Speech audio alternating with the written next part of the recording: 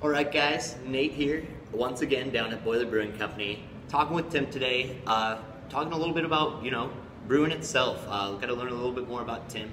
Uh, so, Tim, first and foremost, I really want to know what got you into, you know, brewing beers. My mother-in-law bought me a homebrew kit for Christmas maybe 20 years ago. Thanks, Pam. Kirk's Brew out on Cornhusker. Uh, that's a great place to start. They got all the stuff, and that was my first beer, a brown ale that uh, my mother-in-law gave me. They actually turned out pretty good. It was drinkable. We enjoyed it.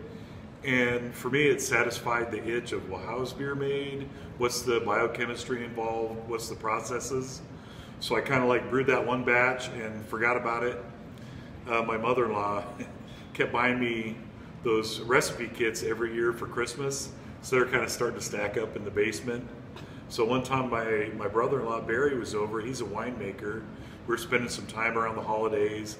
And I'm like, oh dude, I know how to make beer. In fact, I got a kit down in the basement, probably about 10 years old. So we knew enough to uh, go back to Kirk's and get fresh yeast and hops. And we brewed a beer that day. And one of the things, the bottling homebrew kind of stinks. So my buddy Kit turned me on to these homebrew kegs, old soda kegs you can get. And pretty much from there, it was like Katie bar the door. I love making beer and trying different things. And putting in bulk in kegs made the process a lot easier. So I've been brewing now for, you know, except for that 10 year gap, probably about eight years since I started homebrewing. For real, for serious. That's awesome. That's actually really cool. I actually never knew that about you, like all those homebrew kits. Uh, my other question, uh, a lot of people that come down to Boiler, they are aspiring homebrewers. If you had, you know, like let's say their first beer that they brew, that a homebrewer is brewing, uh, what would you like kind of recommend that they would brew for? Oh, that's easy. Brew the kind of beer you want to drink because you're going to have a lot of it. I'll cheers to that.